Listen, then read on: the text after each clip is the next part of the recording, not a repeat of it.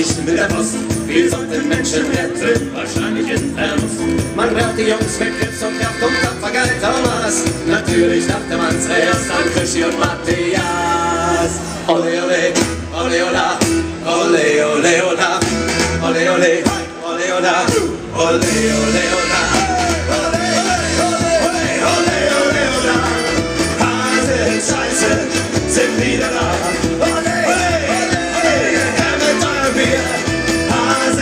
Scheiße, das sind wir. Ah.